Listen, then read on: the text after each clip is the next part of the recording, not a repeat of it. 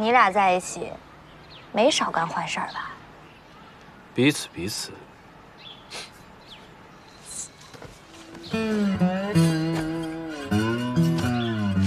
小心点。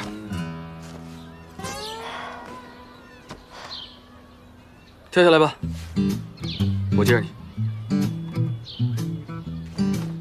你让开，小心我砸着你。口气挺大。哟，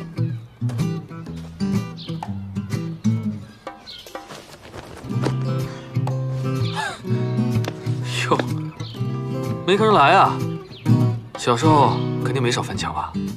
彼此彼此。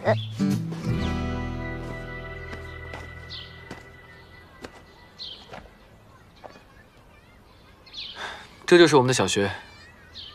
哎，你面前的这片草坪啊，之前就是一自行车棚，所有老师的自行车都停在那边。要是学生被老师批了，我们就悄悄溜进那个棚里边，把老师车胎的气全都给放了。你跟邵振荣小的时候可真够淘的。你俩在一起，没少干坏事吧？彼此彼此。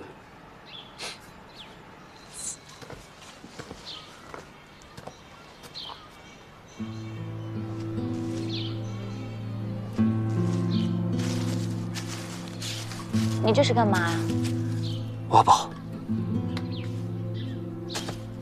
挖宝。上学那会儿，同学们都特别流行埋时间囊，我和振荣就学着他们，一起在这儿也埋了一个。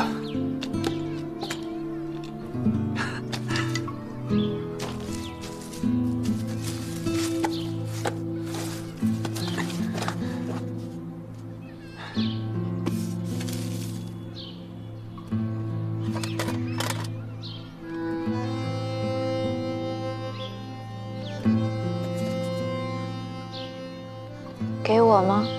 这是我跟振荣的回忆，看看吧。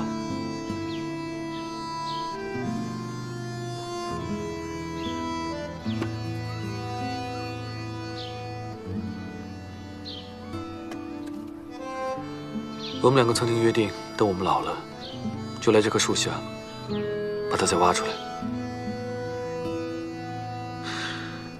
这个约定。永远没有办法兑现了。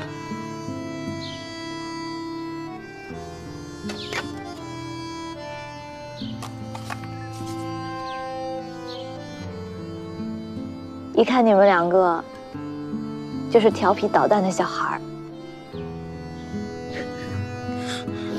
笑什么呢？这是什么？真人获得的。我怎么都不知道，振荣还会游泳啊？他，他就一旱鸭子，他根本就不会游泳。那他怎么会游泳，还获得奖牌啊？那他得谢我，一脚给他踹出去的。你对他也太狠了。回去啊，他就跟少爷和我爸告状。我爸给我拎起来好一顿打。你没看见他当时就躲在我爸身后，你不知道他笑得有多开心。就因为那一脚，那臭小子后来一个月都没有理过我。从那之后，他就不怕水了。半年的时间还进了校队，得了这块奖牌。